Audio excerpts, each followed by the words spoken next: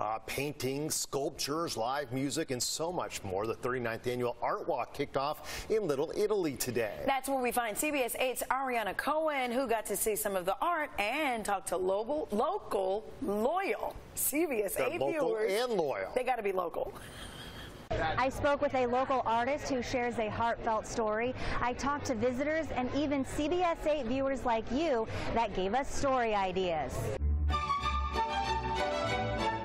Thousands of people are enjoying the two-day 39th annual Mission Fed Art Walk in Little Italy. The event features artists from every medium, including painting, sculpture, glasswork, photography, fine jewelry, and more. And I just put little love, my, what I call my love language on here. Anne Galumbuck is one of the 250 artists at the Free Fine Arts Festival. She tells me a tragic accident is what sparked her interest in the arts. I got hit by a drunk driver as a pedestrian and had to lay on the floor of my home. She says she did not have any artwork on the walls in her home at the time, and even though she was injured, she had an idea. And I thought, well, I'm not very strong right now, but I could throw paint on a canvas.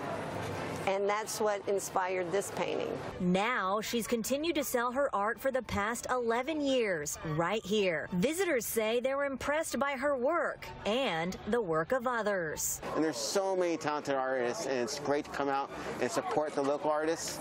And really, you know, just I think it's also inspiring to see what you know what you could potentially be doing yourself. The Art Walk supports the nonprofit Art Reach San Diego. It's an organization that promotes visual arts for K through 8 schools throughout San Diego County. CBS 8 is also a proud partner. I met many CBS 8 viewers today at our Big Blue tent. Hi, if you have any story ideas, you can write them right here. Okay, thank you. I'm going to write down a story idea that I think needs to be covered. I watch you guys all the time, morning, noon, and night. The anchor guys are, are cute. what can I say? I think that, that that's good that you reach out to the community in various ways. Meanwhile, Anne hopes to inspire others to pick up a paintbrush. Everybody is an artist. Just get some paint or a nice marker and write it on your canvas and let it go. The art fair kicks off at 10 a.m. Sunday right here in Little Italy. I'm Ariana Cohen. We'll send things back to you.